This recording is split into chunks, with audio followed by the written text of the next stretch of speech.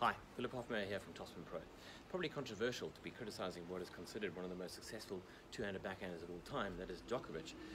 But when tennis coaches tell you that the, the, the double-handed backhand is much more like a left-handed forehand, they are not talking about Djokovic or Murray. They're talking about Zverev and Nadal.